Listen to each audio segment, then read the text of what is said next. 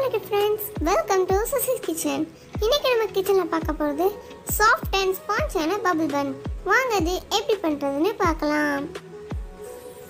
அதுக்கு ஒரு பவுலில் அரை கப் பால் சேர்த்து அதில் ஒரு டீஸ்பூன் ஈஸ்ட் ஒரு டீஸ்பூன் சுகர் சேர்த்து நல்லா கலந்து விட்டுக்கோங்க. ஈஸ்ட் எப்பவுமே சுகரை மட்டும்தான் சாப்பிட்டு வளர்ந்து வரும். அப்போ ஈஸ்ட் ஆக்டிவ் ஆகணும்னா நம்ம சுகர் சேர்த்தா மட்டும்தான் ஈஸ்ட் ஆக்டிவ் ஆகி வரும். இதை நான் ஒரு பத்து நிமிஷம் அப்படியே வச்சு ஈஸ்ட் ஆக்டிவ் ஆகுற வரைக்கும் மூடி வைக்கிறேன். இப்போ இன்னொரு பவுலில் ரெண்டு கப் மைதா மாவு சேர்த்துக்கலாம். இதே கால் டீஸ்பூன் உப்பு சேர்த்துக்கலாம். இப்போ நம்ம கலந்து விட்ட மாவில் லைட்டாக நடுசில் ஒரு புளி ஆக்கி ஒரு பெரிய முட்டை சேர்த்து அது கூடவே கொஞ்சமாக உருத்தின வெண்ணெயும் சேர்த்துக்கலாம். சேர்த்துட்டு இது கூட நாலு டேபிள் ஸ்பூன் சுகர் சேர்த்துக்கோங்க. உங்களோட இனிப்பை பொறுத்து நீங்கள் சுகர் சேர்த்துக்கலாம். இப்போ பார்த்தீங்கன்னா நம்மளோட ஈஸ்ட் நல்ல ஆக்டிவ் ஆகிருக்கு உங்களுக்கு பார்த்தா தெரியும். இந்த ஈஸ்ட்டை நம்ம இப்போ நம்ம ரெடி பண்ணி வச்சுருக்க மாவில் சேர்த்து ஒரு டவ்வாக பிசைஞ்சு எடுத்துடலாம். உங்களுக்கு தேவைக்கேற்ப ஊற்றி நல்லா பிசைஞ்சு எடுத்துக்கோங்க. கொஞ்சம் கொஞ்சமாக ஊற்றி பிசைஞ்சுக்கலாம்.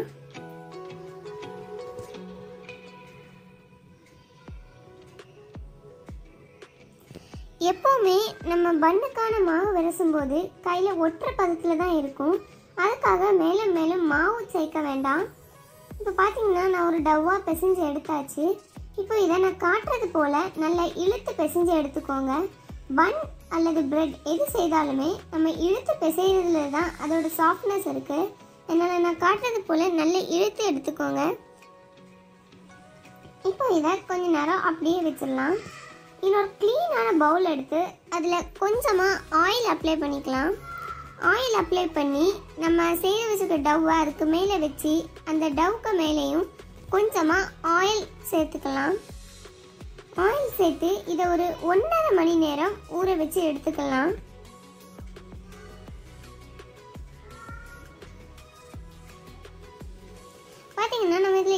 சேர்த்துருக்கனால இது ஒன்றரை மணி நேரம் கழித்து எப்படி உப்பி இருக்கு பார்த்துக்கோங்க.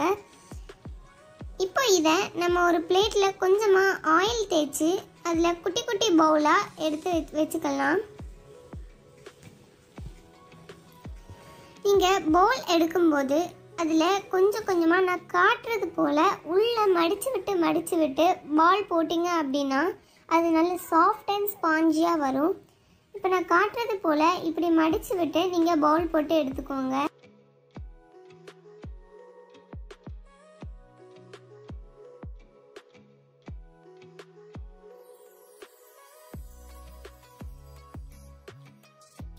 நான் காட்டுறது போலவே இடைவெளி விட்டு தட்டில் மாவு பால்ஸை அடுக்கிக்கோங்க.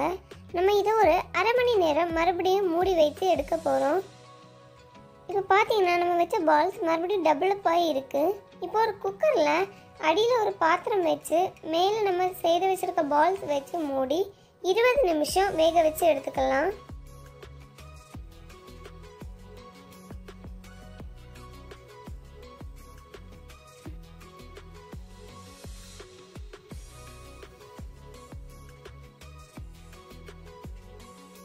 இப்போ இருபது நிமிஷம் கழிச்சு பார்த்தீங்க அப்படின்னா நல்லா வெந்து உப்பி வந்திருக்கும். இந்த நேரத்தில் நீங்கள் ஒரு டூத் பிக் வச்சு குத்தி பார்த்தீங்க அப்படின்னா ஒட்டாமல் வரணும்.